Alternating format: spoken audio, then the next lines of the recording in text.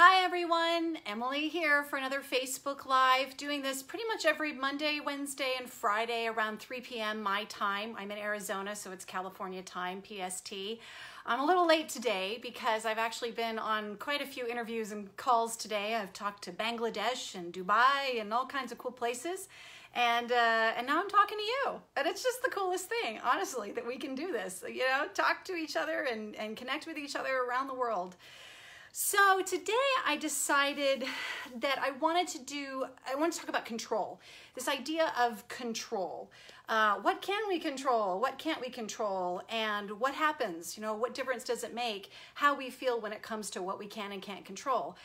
Obviously, I think there are pretty obvious reasons why I'm talking about control or a sense of lack of control and how it affects us because of this global pandemic that we're in. And there are so many things we can't control, or rather, it's like slamming us in the face the fact that we can't control a lot of things. Because the reality is, even if there weren't a global pandemic, we there are still things we cannot control, whether it's in our lives or it's in the world. And it can feel really overwhelming and really anxiety anxiety inducing.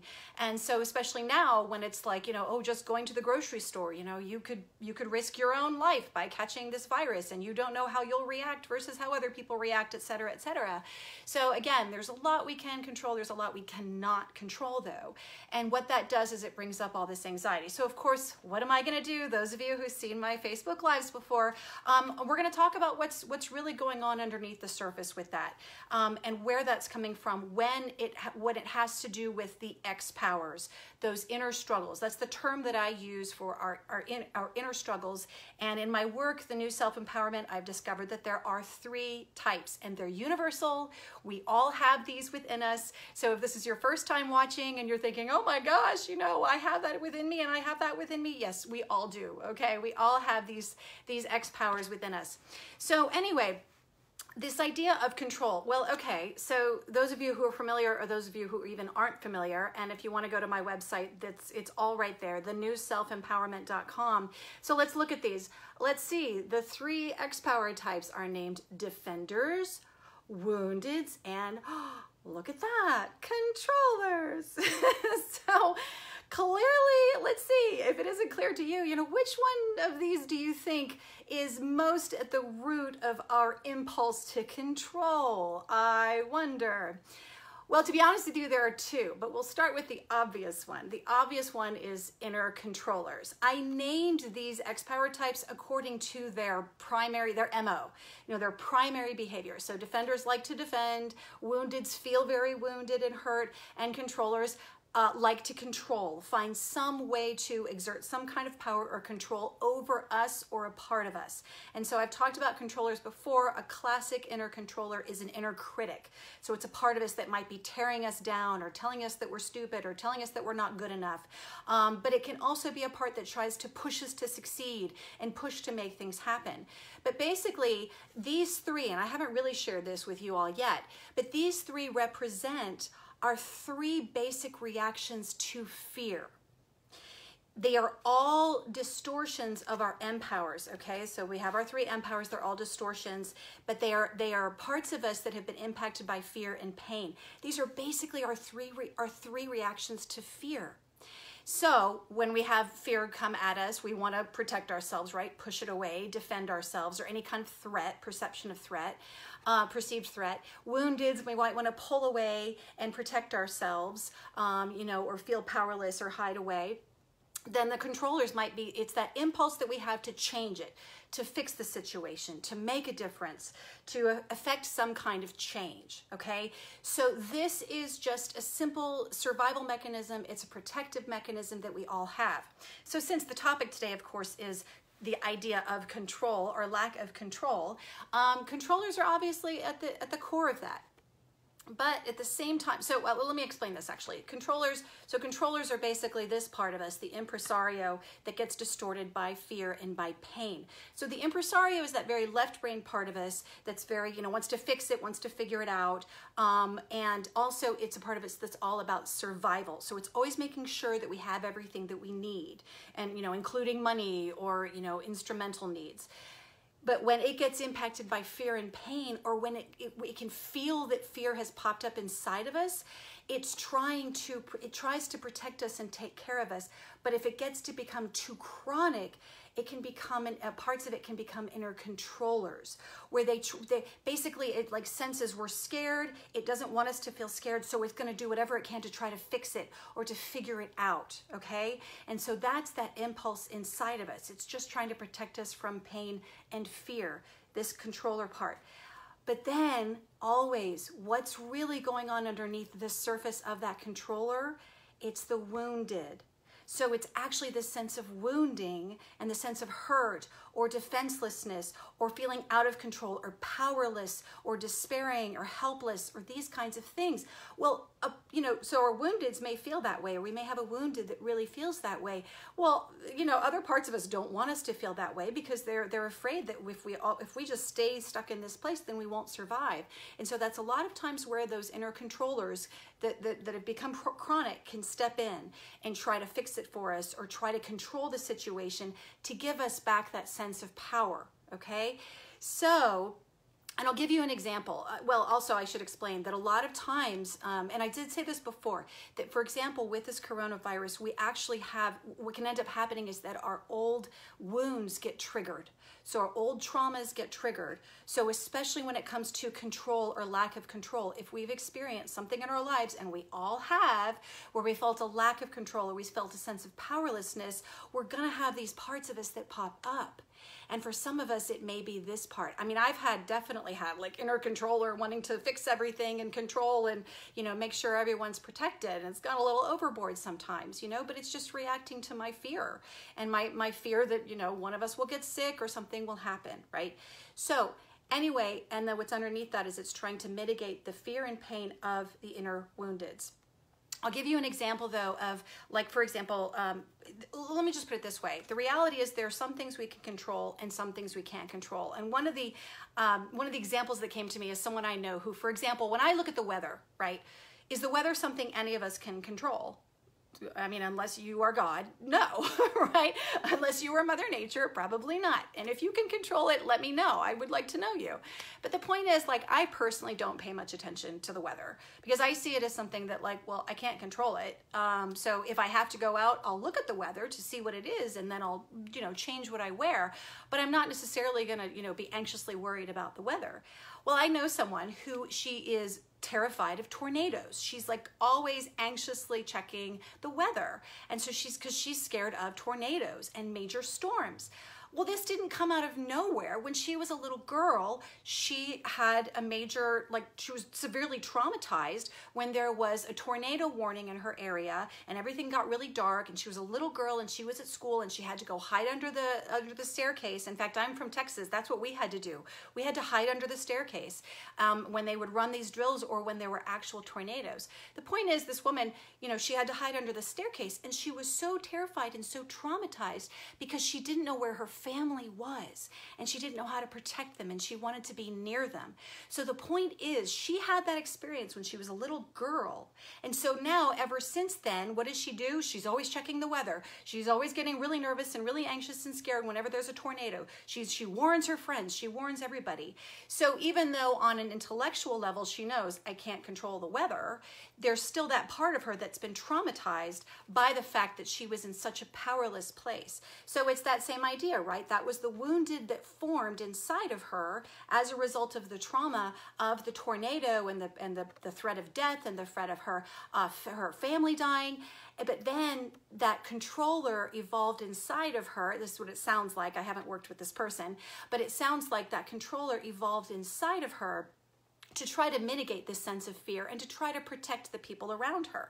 Okay, so we all have this thing within us. Um, I even discovered, interestingly enough, you know, in a weird way, just in the past few years, I discovered that I had an inner controller that was doing something a little different for me. So, you know, I tend to be very emotionally sensitive. I don't like to be criticized. I don't know anybody who does. But, you know, some of us are more affected by criticism than others. And I happen to be someone who, like, when I was a little girl, I was very, very sensitive to criticism and very afraid of getting hurt. And I wanted everybody to like me and I wanted to please everybody. Well, I realized just in the past few years of doing my own work on myself is that I had developed these parts inside of me that were all about trying to, you know, being nice to everybody and just being kind to everybody, even if they weren't kind and nice to me. And then when there were certain people in my life who then were not kind and nice to me, and I was having these reactions to them, it really forced me to go, okay, what's going on with me?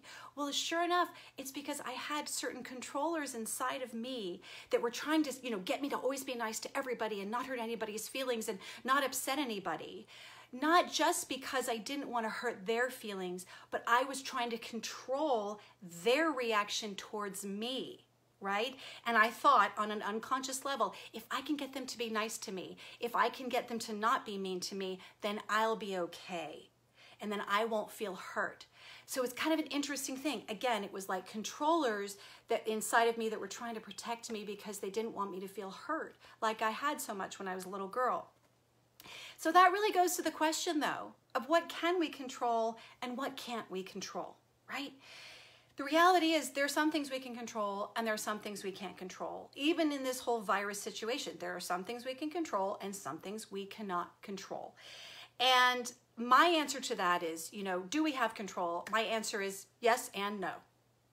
And and I have an overarching reason for that. I really believe in the both and of life. That very few answers are either this or either that, that most things are both and. There are some things in this case that we have control over and others things that we don't. Same thing with people. It's, you know, or, or, or rather with ourselves and other people. Can we control other people? Not necessarily. In fact, a lot of times we have this illusion of control. We think that just because someone responded to us in a certain way, that somehow we had some control or we had some impact. And maybe we did, but that person is still making the choice whether how they want to respond to us. So the truth is, we can't control others, but we can control ourselves. We can't we we can we can control how we perceive others and ourselves and other situations, okay? But we can't necessarily control how other people perceive us or other people's actions, etc., etc. But we can control our responses and we can control the choices that we make. Now, here's the funny thing about this, though, that I discovered. And if you all saw my talk earlier this week, I think it was on Monday, that was about conspiracy theories and the fact that there are a lot of conspiracy theories going on right now. Um, and it's directly related to, to, there were three main reasons that I listed about why people believe in conspiracy theories and the fact that they come up during periods where there's some kind of global incident um, or there are periods of high distress and uncertainty. That's what we're in right now. So, of course, we have a lot of conspiracy theories. But what's interesting is that one of the main things, uh, one of the key elements of why people believe in conspiracy theories is because of the desire for control and security. Conspiracy theories can give their believers a sense of control and security, especially when the alternative, the possible reality, feels more threatening. Okay? So it's interesting because there's a lot we can't control right now. But what determines how we feel in response to this situation does have to do with our sense of, of power and agency. So they did, and I, and I got this from an email from a guy named Rabbi Brian. And he wrote he wrote this, and thank you, Natasha Brylski, by the way, for, for, for introducing me to this guy. He shared this mouse experiment, and he, ta- he talks about um, that that they he set up this that they did a study where they set up these mice and they had some mice basically believe that they had some sense of agency or control. I forgot how they set it up. And then the other set of nice uh, mice found that they didn't have any sense of control or agency they found a difference in how they interacted. And by the way, neither sets of mice actually had any control. So it was all about the mice's perception of control or power or agency in their lives. That's what they wanted to see. What was the impact on these on these mice? And it said that the result, let's see. So the levers for both subjects were non-functional. Um, let's see. Wait, where is it? Oh, shoot, I don't have the whole thing. Uh, where is it? I, I, don't know where I put it. But anyway, the point is that the first set of mice, the, the set that didn't believe it had any control, it turns out that they functioned worse. They were like, I don't know, like defecating randomly. Like they were much more anxious. The ones that felt that they had no sense of control. Whereas the ones that felt that they did have a sense of control, it said the ones with perceived agency found the experiment to be less annoying and they did better on cognitive tests.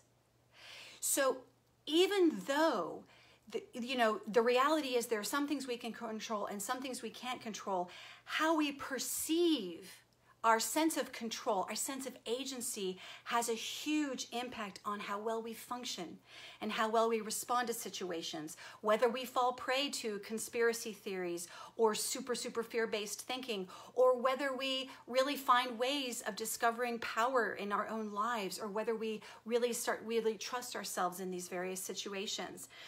So I thought that was really fascinating. But what they also discovered, for example, with conspiracy theories, is it says the problem is that that that this illusion of control okay? So it's not about having the illusion of control. It's really just a more about your sense of power from within is the way i see it.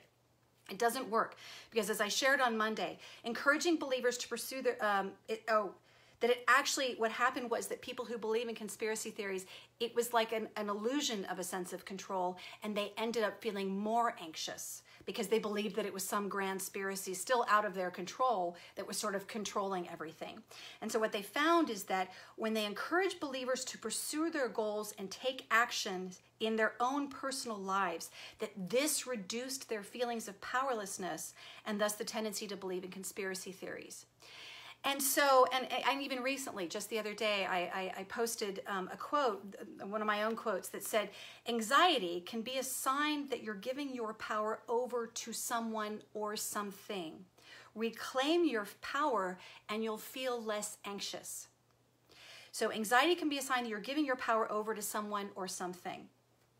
Reclaim your power, you'll feel less anxious. So, therefore, the stronger our sense of control or agency or power we have in our lives, the more at peace and empowered we feel, and the better we function. Okay, so when it comes to control or not control, there are some things we can control, there are some things we can't control. If we focus too much on what we cannot control, we will simply increase this is my perception, my, my belief based on my work and all of that, we will simply increase our lack of um, our lack of sense of power and agency and our lack of our sense of control over our own lives. So it really has to do with what we focus on versus what we don't focus on, where we choose to actually um, make choices, how we make choices, on what we make choices. So I'm going to leave you with this question for yourself.